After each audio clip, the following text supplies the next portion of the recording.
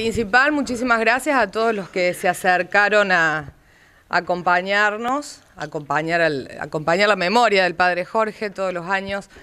Para el 17 de julio nos reunimos a, recordarlo, a homenajearlo. Em, es, una época un poco difícil, hay gente que no está, hay muchísima gente que seguramente quisiera estar y que bueno, por, por estar de vacaciones a lo mejor no se encuentran en Brickman. Nosotros decimos siempre que la mejor manera de, conmemorarlo, de celebrarlo, es tratando de dar lo mejor que cada uno de nosotros tiene para dar. Nosotros lo traducimos en obras, en continuar su obra, como dice el cartel que está en el edificio Ejército de los Andes. Y bueno, eh, lo, que es muy triste en la vida de las personas, que es la muerte, con los años se ha convertido eh, en algo, eh, lo hemos transformado en algo lindo, o sea, él sigue muy presente. Y cuando digo esto no es una frase hecha, yo creo que realmente está presente, todos lo sentimos así y incluso tiene una vigencia que hasta asusta un poco, ¿no?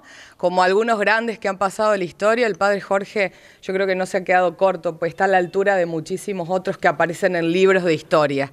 Eh, tiene una vigencia, uno cuando lee hasta su pensamiento político, en un año como este, muy político, uno ve realmente un, alguien que por ahí estaba por encima de la media, ¿no? Por encima de, del resto de los mortales. Así que aquí estamos para recordarlo, lo vamos a seguir haciendo sin cansarnos y les agradecemos muchísimo la presencia.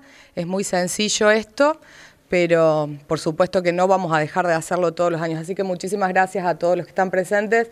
Hablo en nombre de toda la gente de la Fundación, de todos los que han tenido el privilegio de conocerlo en profundidad y los que éramos chicos cuando él falleció, igual recordamos aquel día, eh, hace ya 27 años, con muchísimo pesar, pero hemos reciclado esa energía para hacer algo bueno que, que hoy eh, se cosechan los frutos ¿no? en toda la comunidad, en toda la zona, diría yo, en, una amplia región. Así que muchas gracias a todos.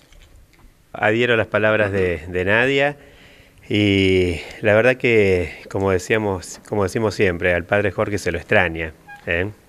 Brinkman fue hecho por mucha gente, por muchas personas que cada una aportó su granito de arena, como decimos.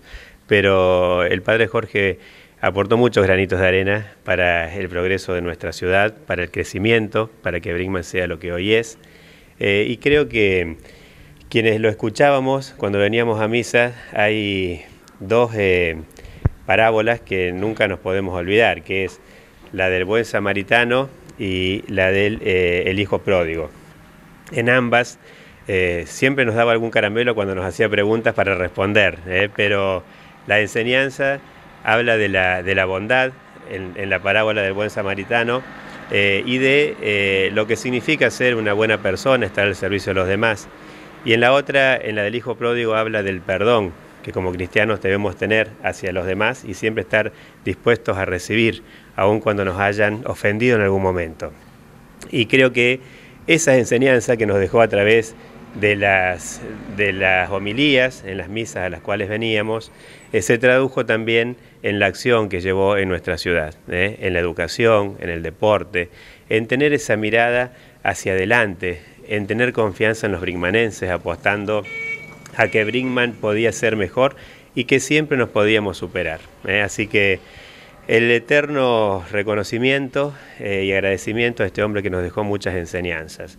Y quiero también eh, dejar un recuerdo, porque en el libro de Ronald sobre el padre Jorge hay un capítulo especial destinado a la relación entre los intendentes y el cura, le dice Ronald.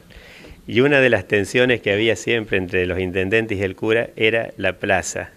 El padre siempre decía que la plaza era la cara de un pueblo ¿eh? y que debía estar linda, que debía estar ordenada.